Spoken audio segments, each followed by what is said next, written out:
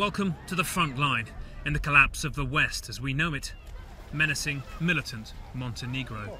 They're very aggressive people. They make it aggressive. And congratulations, you're in World War III.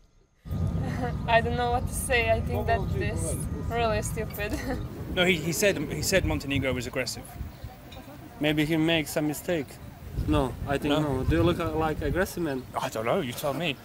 no, No. I think no. Where are you going now to start World War Three, or No. where are you going instead? Drink coffee? Yep, that's the drums of war you're hearing there. But make no mistake, nobody's giggling here about Russian ambitions to increase its influence in the Balkans and control this deep water port. It's even accused of trying to kill the Prime Minister of orchestrating a coup in October 2016. Two alleged Russian agents sought by Interpol warrants still for the sophisticated plot. Well, it was here investigators say that dozens of radicals were supposed to gather, spurred on by Russian intelligence, and seize some state buildings, including this, the parliament, paralysing the government, ruining the elections, and doing their best to make sure that NATO wanted little to do in this chaos with this tiny, aspiring member.